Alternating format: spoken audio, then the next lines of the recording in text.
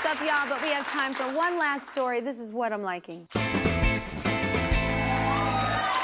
Traveling circuses have been a huge part of American culture for hundreds of years, but none has endured like the Ringling Brothers and Barnum and Bailey, also known as the greatest show on earth. That said, their show has evolved tremendously over time. Take a look.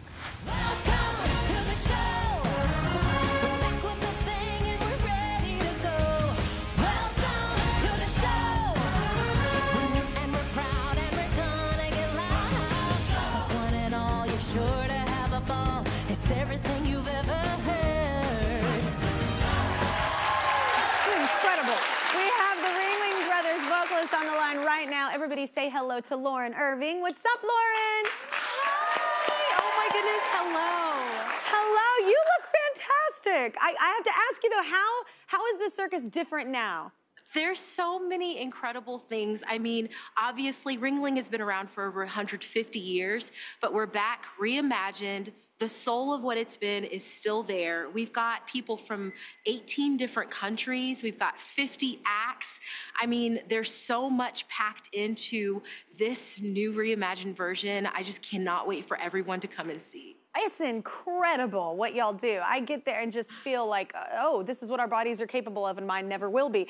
Um, it's incredible Yes. to watch and hear. It's so fun to take your kids to. So, what surprised you most with Ringling Brothers?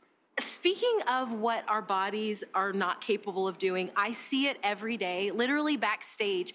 Everyone's getting ready for the show. Everyone can juggle. Everyone can do handstands. Everyone can do all these things. And then they go out on stage, and I mean, as you can see, it's like tumbling, flipping. I mean, fearless actions in the air. I'm just surrounded by the most talented people in the world. So, I mean, for me, it's just wild to see. Yeah. Well, the greatest show on earth is kicking off their world premiere this weekend in Brooklyn, y'all. So go online for tickets and to see if they are coming to a city near you.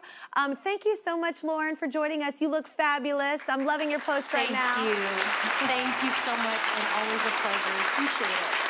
All right, y'all. Well, usually this is the time give our guests $1,000 courtesy of our season-long partner, Pilot Pen, makers of G2 and the new G2 Edge, the go-to pins of the Kelly Clarkson Show. But today, it is going to one lucky person in this audience. So take a look at the monitor